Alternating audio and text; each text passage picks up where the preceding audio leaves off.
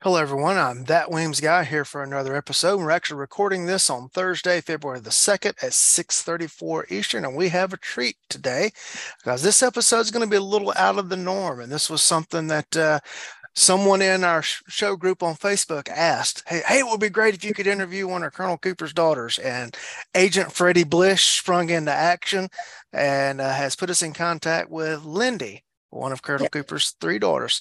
So, Lindy, how are you? I'm well, thank you. Thank you. Would you take a moment and introduce yourself to the audience? Sure. Uh, my name is Lindy Cooper Wisdom, and I'm the youngest of Jeff and Janelle Cooper's three daughters.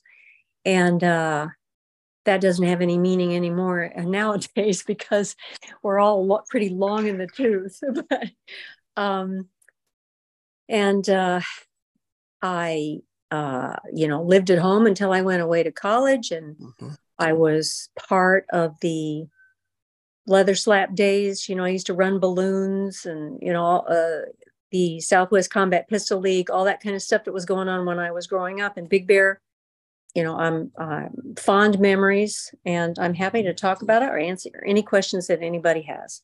Oh, great. You know, just before we started the recording, you said something to the effect of, you know, growing up, he was dad.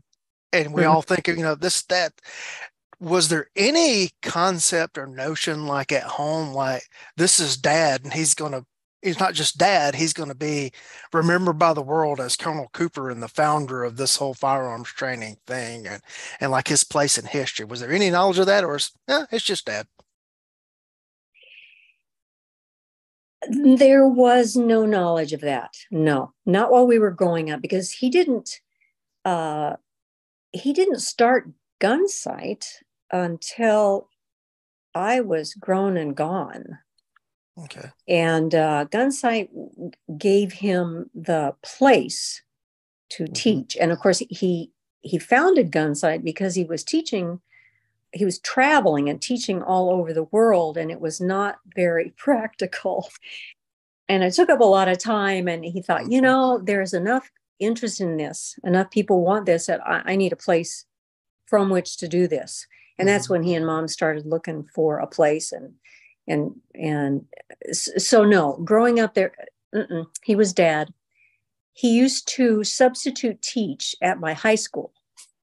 So the that was uh-oh here's my dad and he's the teacher today but other than that no no. I mean I, I just thought everybody's dad was like my dad yeah, that's interesting. I never knew that about him doing the substitute teaching thing. Yeah, you um, know, you know what else? He used to run lines at the football games. Okay. For exercise. All right. Um, what was it like growing up in in the household with him? Uh, was you know, did he teach you and, and your sisters about firearms and, and firearms? Were you were you all taken out and have to learn all the stuff about the modern technique growing up? Uh, not exactly. He thought that we all should know how to shoot. Mm-hmm.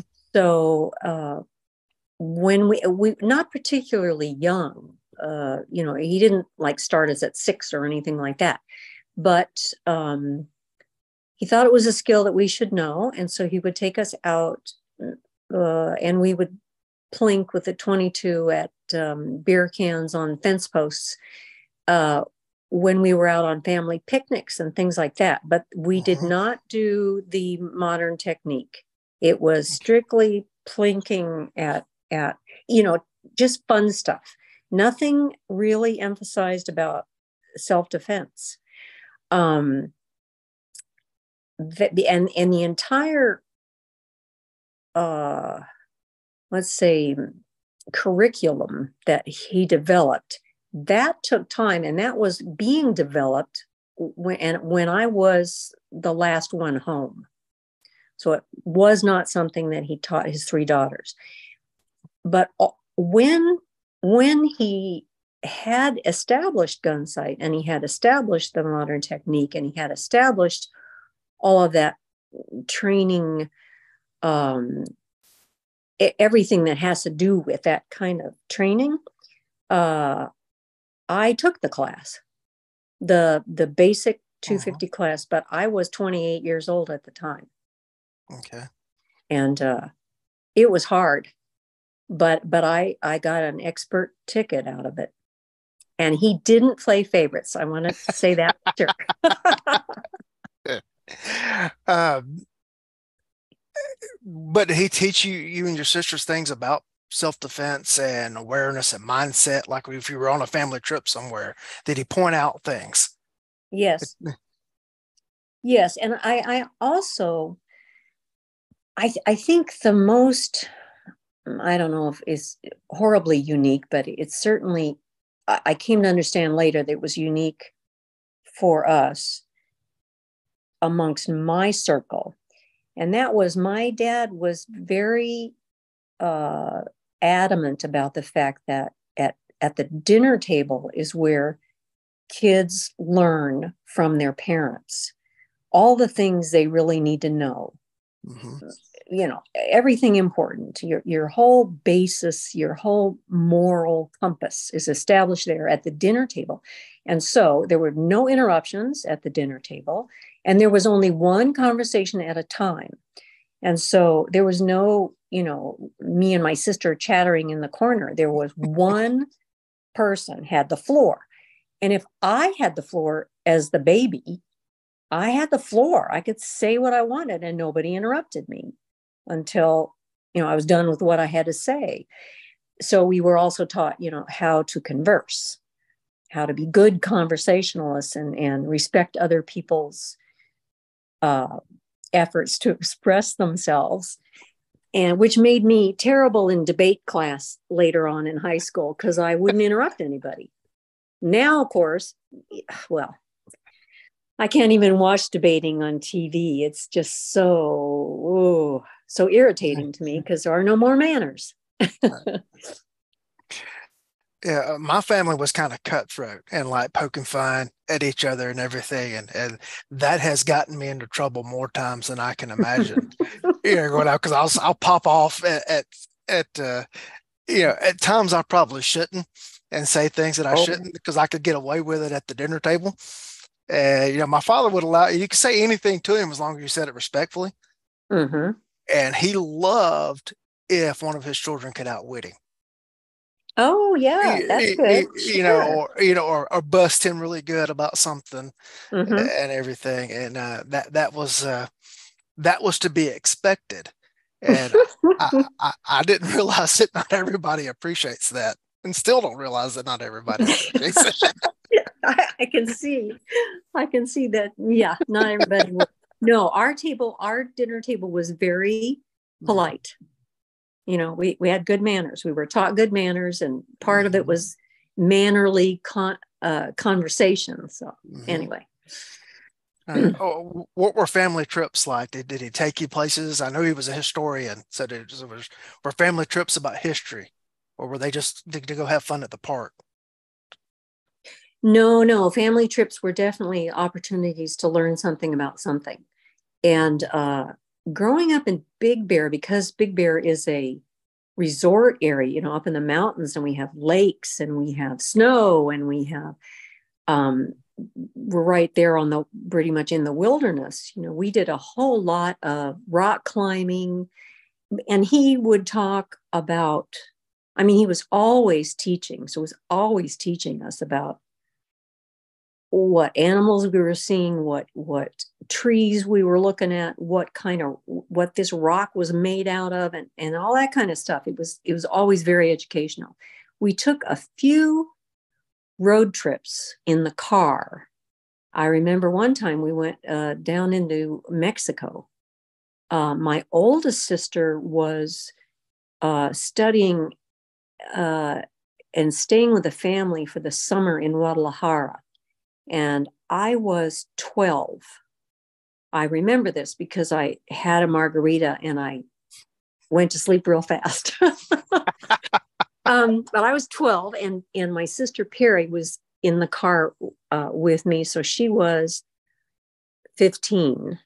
Mm-hmm. Uh, wait a minute 12, 13, 14, 15. She had just turned 16 when we went on this trip, and I was still 12 and uh, the four of us went down to Guadalajara, drove all the way down from uh, Big Bear mm-hmm. to Guadalajara to visit my oldest sister. And then we went on down and down to Mexico City and we went uh, to the pyramids and yeah, all that kind of stuff was learning about who built the pyramids and what wars were fought there and and uh, you know who was in charge then and all about he, he wrote his um, master's thesis on cortez and so he was real into that and we learned a lot about that the conquest of mexico by the spaniards when we were down there so yeah it was it was like growing up with an encyclopedia um, at your fingertips and a lot of lectures, but not in the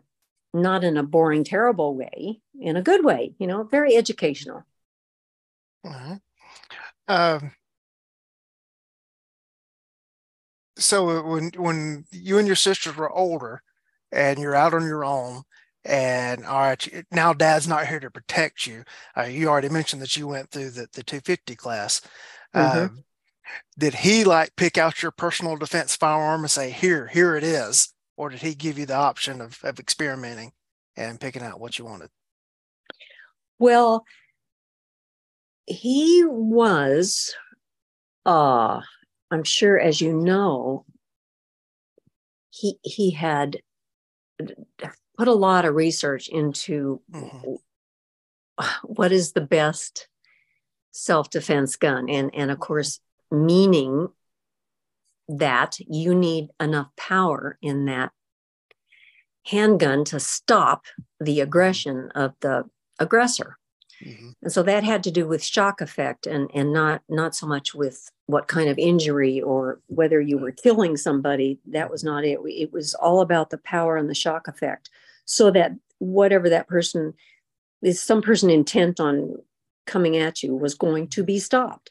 So that was the 45 and uh, there wasn't really a lot of other discussion about that because through through the research of everybody shooting all this mm-hmm. doing all these things uh, for the with the southwest combat pistol league and all these we had matches every month you know that's what was going to work. So eh, there wasn't really i don't think i ever had a choice. And i also didn't didn't like it. It was too powerful and uh, even when i took the class uh, i mean I, I don't and i still i don't personally i don't like having that explosion right there at the end of mm-hmm. my at the end of my arm i don't like that mm-hmm. and i still don't and i don't care what the what caliber it is but i think that is is a reaction probably to basically just shooting a 45 all the time, a full, a full size, full load mm-hmm. 45. But then when I got interested in rifle shooting, I love shooting the rifles. So for some reason, there's something about having that a little further away and having the ability to make something happen way out there that that appeals to me. So I I like to shoot rifles and I like to hunt. Okay. Well, speaking of hunting, did you go on hunting trips with him? Yes. Yes.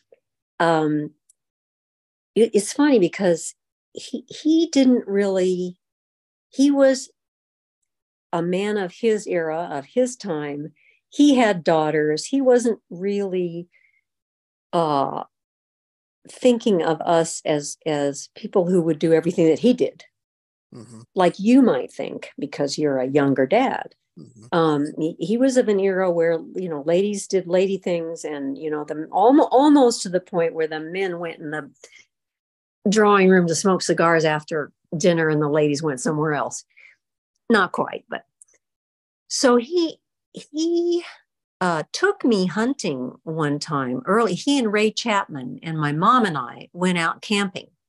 And he and Ray went off deer hunting, and mom and I stayed in the camp. And it really didn't occur to me because I, again, I didn't take the rifle class till I was in my 40s. So it didn't occur to me then and didn't occur to mom that we should be doing that with them.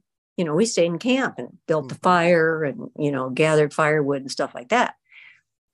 But he put together a hunting, a group of people to go hunting in Africa, uh, which was the first of, of many groups that he did. And all of a sudden, I was without a job because all this time I'm married, I, I'm working. I don't have time to go running around. I, you know, I got two weeks off, and my husband and I go do other things. Mm-hmm. But all of a sudden, I uh, my company got purchased, and I was laid off, and I was uh, didn't have a job. And he was putting together this group to go to Africa, and he invited me. And I said, "Oh my goodness, sure." But I wasn't a rifle shooter, and I didn't really know what I was doing. So, uh, that I, and I didn't go to hunt. I went as an observer, and uh, I was forty four, something like that. And uh, so we went with this group, and uh, oh, it was, I just loved it. I loved ev- everything about it, except I didn't like just watching. So I came back and I said, I got to take the, I got to take the rifle class from, who should I go to to take a rifle class from? Well, duh, you know, here's my dad. so I took his rifle class from him. And then I took, uh, I went shooting once a month with John Gannaway, um, one of, you know, dad's stalwart mm-hmm. instructors, old friends. And he coached me once a month for a year until my dad put the next group together. And then I went to Africa the first time as a hunter. And I, I've been to Africa 10 times. I absolutely love hunting, but doesn't have to be in Africa. You know, I, I don't care where it is. I really like being out in the boonies and paying attention to what the animals do, what their habits are, what the weather's like, eh, eh, you know, what's happening right now if, with if the acorns are out or not, all that stuff, just to get very much closer to nature than I normally am here living in the city and just breathing the air and you know the fact that i might bring home some meat is a is a bonus.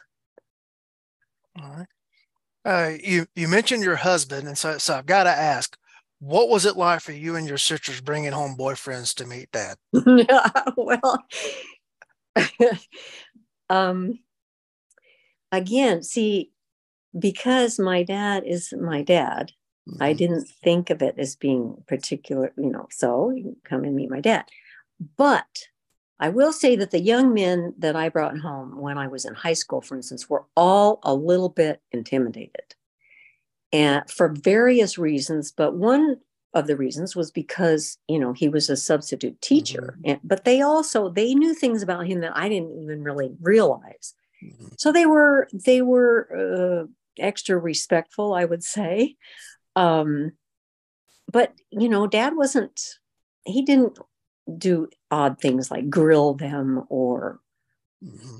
you know, put them to any sort of tests or anything like that. he did have comments to make about them after, you know, they'd gone home,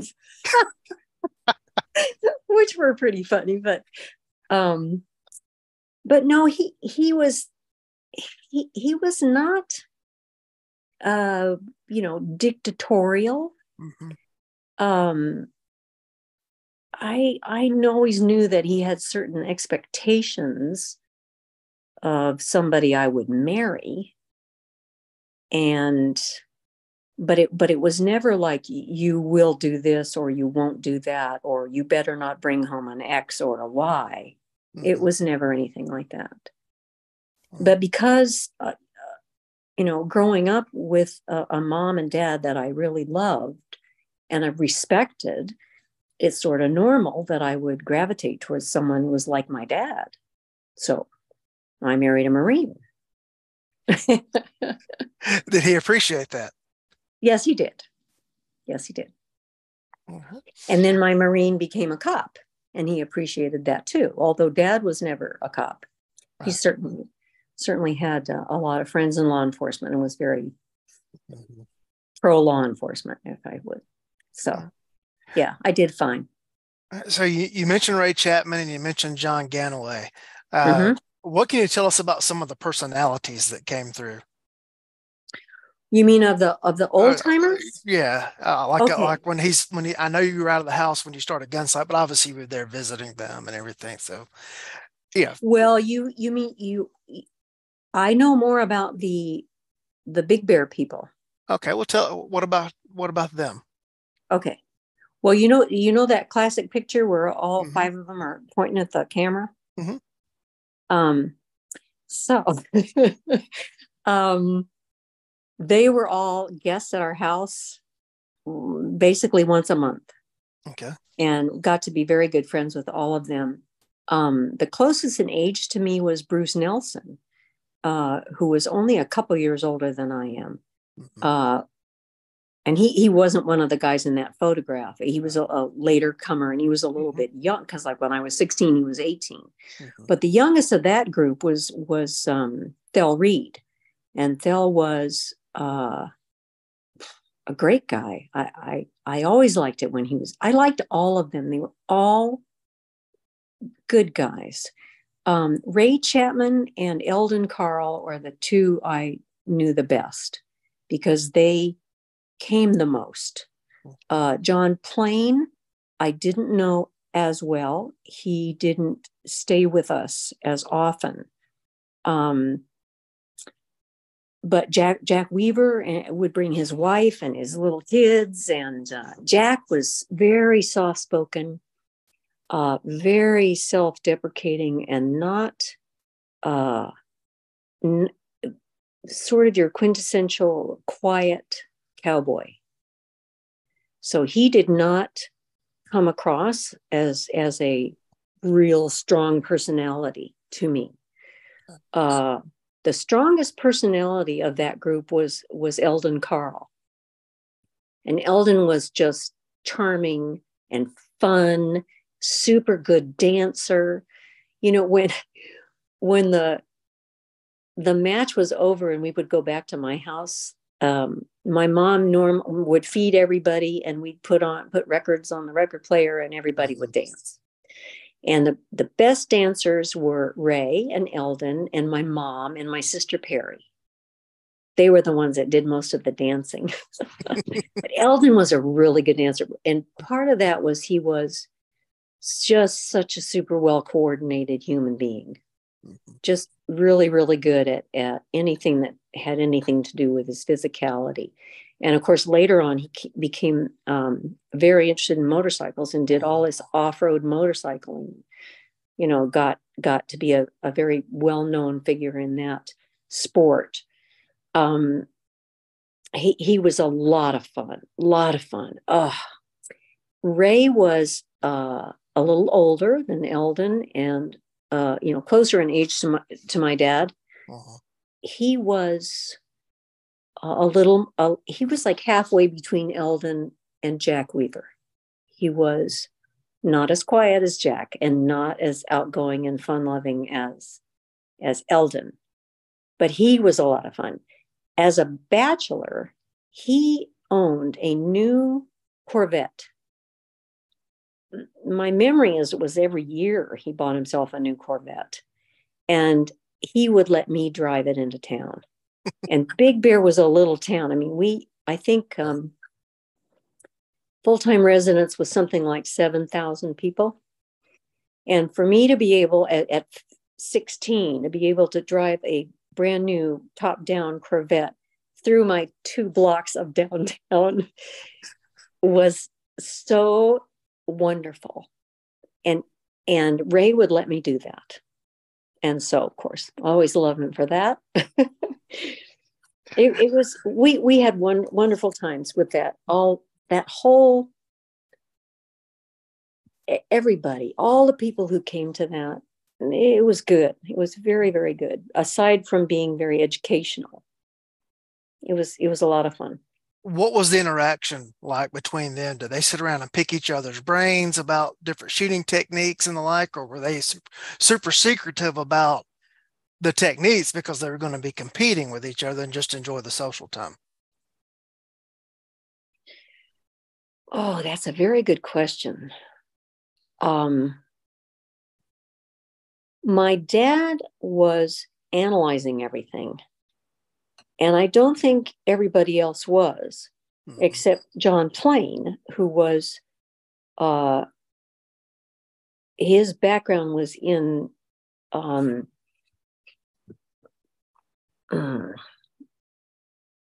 I, uh, what was he? It was like a physical therapist or something like that. His background was in human ergonomics. and he, so he was kind of looking at everything like as a scientist. And my dad was looking at it as, as what worked, but who's winning and why is he winning all the time? And those guys, that that was the top group, and they were winning all the time. And he, he was trying to figure that out. If they all of them sat around talking about this subject, you know, who did what when and how it was, I was I never saw that. Okay. I don't think that happened. All right. I think it was more dad and and John for sure were were observing everything and paying attention to everything. I remember dad asking a couple of things, but I don't remember bull sessions with all those guys sitting around talking about where the mm-hmm. finger goes or how to do this. I don't remember that. Okay. Uh, you mentioned the Corvette, which, by the way, that puts me getting to drive my great uncle's 74 Oldsmobile in the town to shame. Uh, Oh. that, that, that, that, doesn't, doesn't stand up to, to there anymore. Um, did your father have a favorite car? Oh yeah, my dad uh, raced cars uh, Mhm. early on, and um, what happened was he was um, working. A, he they lived in Quantico when he was attached to the Marine Corps, and he was there was no place to park. And so he decided, and at that time, you know, the cars were all bigger. I think they had a Hudson. That was one of the cars they had. And so he got interested in getting a smaller car to find a parking place. And it turned out to be an MG. And then he got really interested in, wow, this is fun. And he started uh, doing um, rallies with my mom, you know, where, where you would get a, a destination and, and she would be the navigator and they'd go off on these weekends and do these weekend jaunts and stuff. And he got more and more into that. And then um, he, again, he put his mind to it and started studying things and said, oh, you know, the best car, the one that's winning the uh, road races. Because that that was that was the competition. I mean, how do you how do you pick a car? Well, you pick a car because of the, the ones that win at Le Mans and um, all, all of the road races because that's practical driving. It, they have courses where you have curves, you know, oval racing. He never that you know that's not real. That's like target shooting. Um, and he figured the Porsche. Porsche was the best made at the time, and so he got himself a Porsche. And every once in a while, he'd let me drive that. But the epitome was that he had a red 356 SC. And that was what he had when I went away to college. Okay. And that was a bomb. I've heard a story about a BMW with a specific paint job. Oh, okay. I have heard that story and I can't verify that. Okay. Not know that. All right. I, Dad Uh, was, Dad would, I would, I would say this. When we went on trips, he drove a little fast. Mhm. he would ask us to keep our eyes out for the CHP. And so us girls were sitting in the back seat with our heads on swivels, trying to catch the uh, California Highway Patrol before they caught him, which worked most of the time. for the for the audience, if you're wondering what the story is, the the- story that was passed along to me was that he had a BMW that was painted with the same paint that a fighter jet was painted with, so that it would uh, not absorb the radar uh, from the radar guns. Honestly, Lee, I don't think that's true, Okay. But it makes a good story. and like, well, I mean, t- truthfully, I can't verify that. It might, Right. it might have happened, but that doesn't sound like Dad. Yeah. But anyway, Um,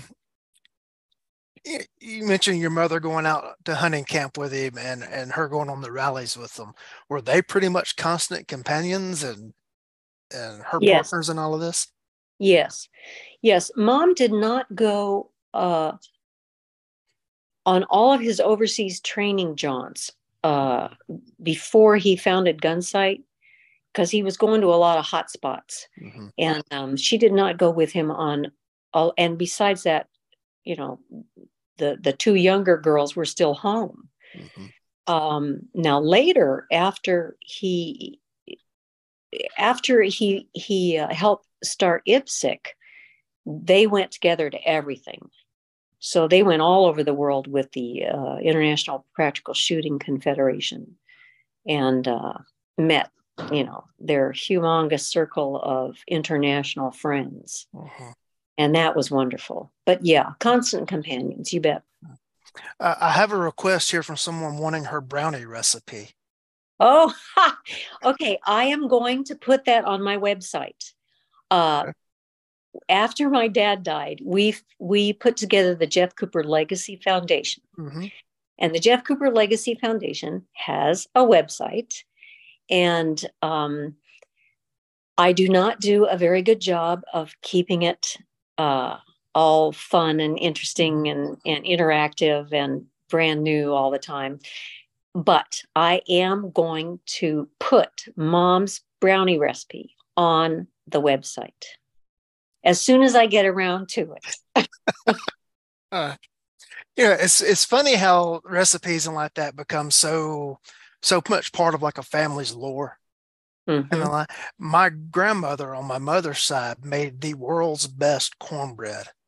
Mm. Mm-hmm. And, and, one of my regrets in life is that I didn't spend five minutes in the kitchen with her learning how to make it. And I've got her skillet; it sits right here.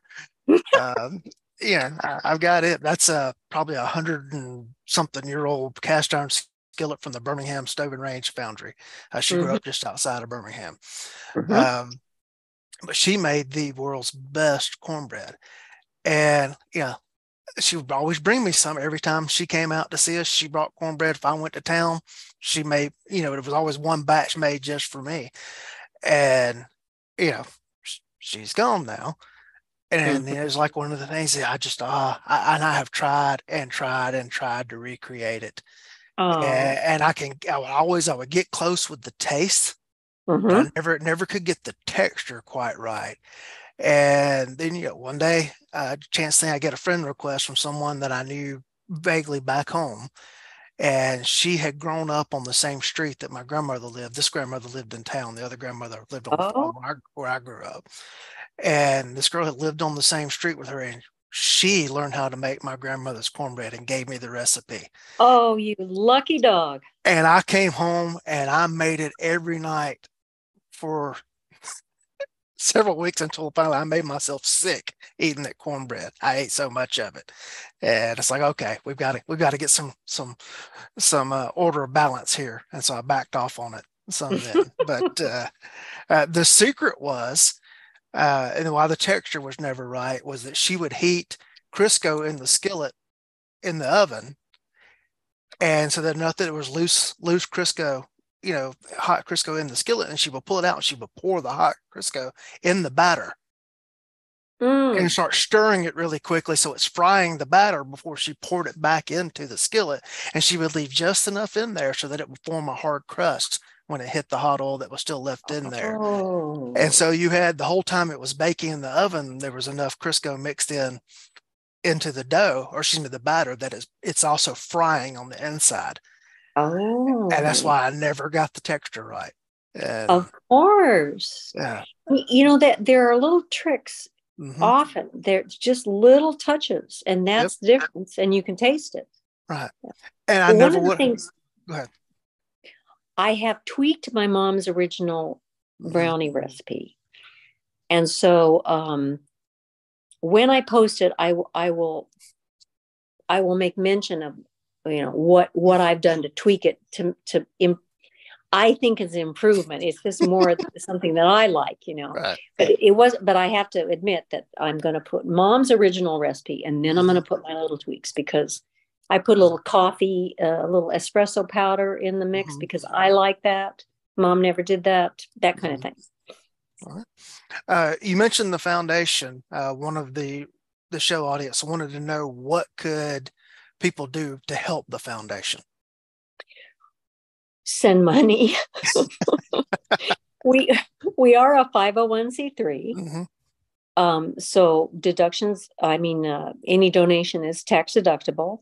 Mm-hmm. Uh, you can go on the website and there is a donate here, or you just click right there and you, yeah. And every, we have been able to function um, since we put this together, which 2006, without any administrative costs except printing our brochures mm-hmm. because we have such wonderful friends uh, and who who help us get what needs to be done done plus family members who, mm-hmm. donate their time and expertise and whatever it is we're dealing with to to help us keep going and also because we have we have wonderfully wonderfully supportive friends financially our biggest supporter to date is john gannaway uh, john passed in september.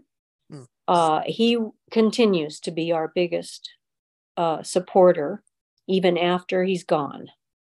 And uh, we will always be grateful to him for all, many things uh, especially for that.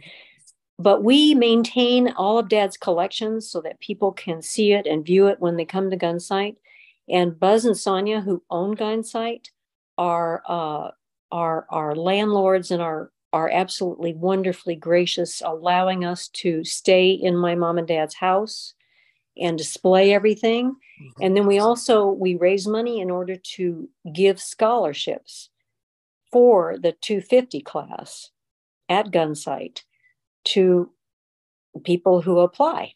So you can also apply for a scholarship online. And um, there isn't any magic uh, in, in obtaining a scholarship, but we are um, partial, I would say, to people who put themselves in harm's way for others. Okay. We're, we got soft spot for people like that. Imagine that. Yeah. So. um, you mentioned the house there. We've all heard of the sconce. How did how did your father get the idea for the sconce? Um, my dad had been traveling when he was writing for Guns and Ammo. Uh, he gained a reputation through that writing, his articles and his uh, question and answer column. And that's when he started, people started asking him to come and help them with their problems. Uh, people in South Africa, people in Guatemala, people in the Philippines, um, who were who were threatened more so than we, you know, know in this country and wanted to learn better how to defend themselves. So, dad was doing a lot of traveling and he was doing a lot of um, observing and learning, like he always did anywhere he went. And home invasion was a threat uh, in, especially in Latin America. Um, in in many countries in Latin America, there was a uh, there were uh, the bad guys, whoever they were, whoever they would uh, were affiliated with needed always to finance themselves and so one of the things they liked to do was to kidnap wealthy people uh, farmers or landowners or businessmen and hold them for ransom to raise money for their you know anti whatever activities anti government or anti whatever they were fighting against. It was different from place to place. Mm-hmm. So home invasion and kidnapping was serious. And so dad uh, put his mind to that and said, Oh, you know, it'd be interesting. It would be interesting, wouldn't it, to design a house that had that in mind instead of just picking uh, you know, at random some house design that you like. So he sat down and he put his mind to it. And he came up with, you know, this, that, and whatever sort of idea. This would be good and that would be good, etc. And uh, he talked about it a lot. And uh, my husband and I were up there working for him uh, for one year. It, we last we lasted one year, but uh, during that time, he kept talking about it. And finally, I said to him, and they were living in a trailer in a double wide mobile home, but they had the land there where they built the sconce. And so he had he had the, all these ideas about how to use that lip that was sort of a lip that stuck out a little bit. Mm-hmm. And I said, Dad, you keep talking about this. Put your money where your mouth is and sit down and put this together. And he, he didn't do it. And finally, I uh, lost patience. And I said, okay, dad, we are going to do this. So I sat down with him and I and I wrote out everything he, we talked about. I drew all the plans. I mean, they aren't plan plans. They're just like stick figure plans but I drew it all out and I said, okay, so now you what do you want here? How does this go? Let's go here. How does this work? Blah, blah, blah. And uh, that finally got him going. And he finally went and hired a, a contractor to put this house together. And so that's how that happened. And it came together it's very it's and it's very interesting and we we give when we mm-hmm. every graduating 250 at uh, gunsite gets invited over to the sconce for a tour and brownies and arnold palmer's and um, we talk about what those features are and where you where you can see them and and i know that ken campbell just built his house up there and he incorporated uh, several but at least one of those features in his new house because they're you know they're good features it's just like the modern technique you know mm-hmm. do you use it or not well you incorporate what works and if it works then it's good so yep. it was a lot of fun okay. yeah. Um, what can you tell us about his writing process um not not much okay. uh, i know that he generally didn't write a lot of drafts. He thought about it and then he sat down and he put it down. He didn't need a lot of editing. Mom was his editor. Uh, you know, he and mom are both Stanford graduates and both very smart and very well read.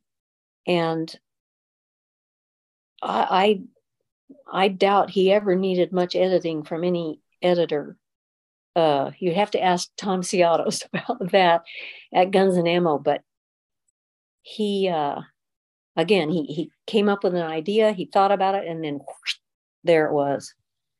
Mm-hmm. That that's my understanding. Okay. What's the most important thing your father ever taught you? Oh. Um,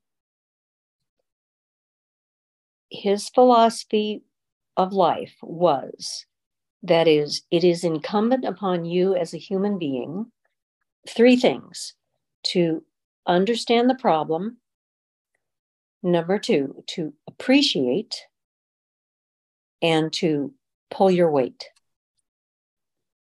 And of course, he explained all of those things, but mm-hmm. uh, that's the most important thing.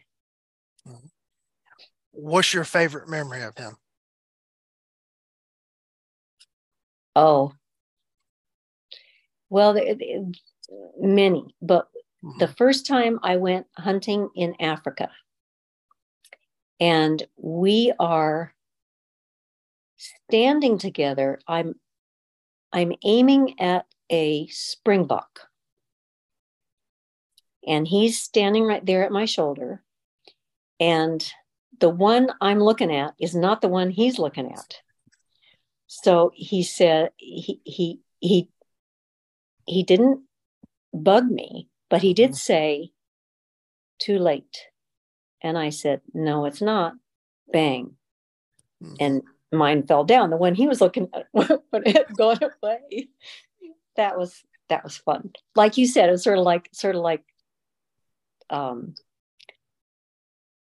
being smart to your dad, you know, hmm in a good way. Yeah. Uh, what's your favorite memory of your mother? Oh, golly, mom. Hmm.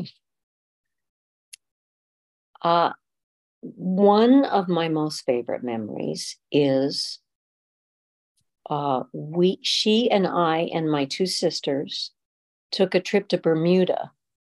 Um, just us girls Mhm. when she was 80.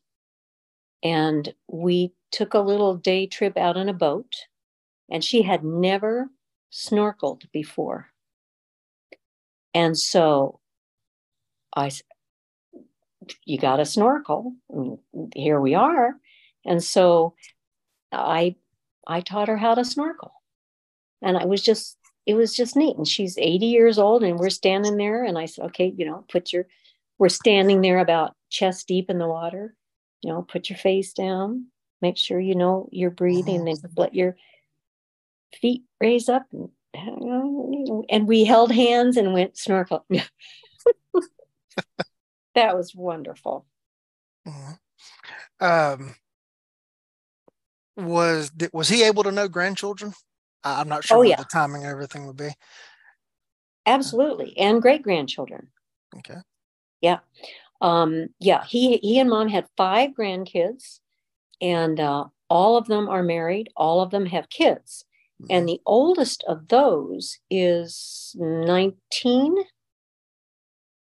mm, i think and so yes he, he was able to know and in fact their oldest grandchild great grandchild is named after my mom her name is jane ellen and my mom's name was even though everybody called her janelle it was Mhm. jane ellen Okay. so Mhm. Um, what other stories about them would you like to share? Oh, well, mom and dad used to, uh, of course, it was a, a sign of the times, but when they were dating, you know, they dated in high school Okay. and then they dated in college and married when she was a senior at Stanford and he was in basic school or had just gotten out of basic school. Mhm. And February 6th is their anniversary. And they eloped and almost got stuck uh, in a snowstorm and almost per I mean, could easily have perished that night and never gotten married. And that would we wouldn't be sitting here talking about this. but um I one of the the only time that I remember my dad um disciplining me severely was when I talked back to mom. And the way they parented was it's okay with me, but go check with your dad. It's Mhm. okay with me, but go check with your mom. And if Mhm. either one said no, if if either one said no, the answer was no. And there was no talking about it. So they had a united front always. Mhm. And you know, that gives a kid such a good sense of security. You Mhm. know, it's either it's either yes or it's no. And if it's no, you don't go whining and you don't go complaining to anybody. It's just no. so just really they they they were a really good couple. I, I am flashing back to the worst whipping I got as a child. Oh, Oh, I'm, I'm, I'm like seriously going back in time right here and remembering that one vividly. That I asked asked Daddy if I could do something, and he said no. So I went and asked Mom if I could do it, and she said yes, not knowing that Daddy had told me no. And mhm. I went and did it because Mama said it was okay, and uh, he found out. surprise. yeah, that that that one was bad. That that one was. Uh, I, I never made that that uh, error in judgment again. yeah. Well, yeah, I I smart mouthed to my mom, and that was the one and only time I ever did that. Because Dad heard it, and man, okay. anyway, Yeah. I, I they were they were great. Yes, smart mouthing either one of them would not have been tolerated at, at our house either. Uh, Mhm. But but dad, my father loved. Um, still, you know, if you could outdo him, like Mhm. if you could, if you could get him with something or, whatever, and um, uh, my parents eloped as well. And my father was 21 and my mother was 15 when they eloped. Oh my gosh! And he moved her into his parents' house. Oh, Well, they, they eloped and came back to his parents' house. and uh, he he got to eh, got to poking at me one day about I hadn't left home immediately after graduating high school. and Everything. My daddy did a much better job of raising me than I did of raising you, and everything. I said, "Oh, oh, really? I, I haven't brought a wife home yet. I haven't brought an extra mouth to feed. Yeah, I haven't brought a wife home yet." And the rest of that story was is that uh, when when they did move out, they put a single wide next to my grandparents and hooked it into my grandparents' power. and my grandmother had told me all of this, and Oh. so um, and. And so now, and said, "Oh, by the way, uh, I haven't moved. I haven't moved my wife next door and hooked to your power yet either."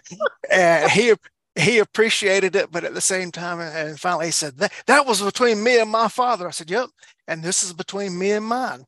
Hmm And he Mhm. never raised the subject again. And it was like he knew he'd been whipped on that one, Yep. and uh, that that was it. Uh, Yep, and and he's fair about it. oh yeah. Oh, this is Oh, this yeah. is okay. You got me. uh, he, he he said one day that he was going to line us all up and give us a good whipping for everyone, everything that he missed as we were growing up. And I said, okay, all right. When you get done, I'm going next door to get grandma. I'm going to bring her down here for you to get yours. Oh, he- he's like, uh, he rethought that plan uh, pretty quickly. Uh, what goes around comes around, doesn't it? Oh yeah, that that was the kind of stuff that that that uh, that went on with us, and it's still you know if we can mess with each other, we enjoy enjoy that. Mhm. Uh, uh, is there anything that you would like to tell us about your your your parents that I have not asked about? Mm. I can't think of anything, Lee. Um, y- you've asked good questions. I had to think about this. Um, I just consider myself su- super lucky. Mhm. Well, you know, I said in the beginning, your your dad is your dad. You know, your Mhm. mom is your mom. You kind of figure. I mean, as a kid, you're pretty selfish. You're pretty self-absorbed. You're not really pe- paying a lot of attention to what your friends, what Mhm. their home lives are like, what their parents are like.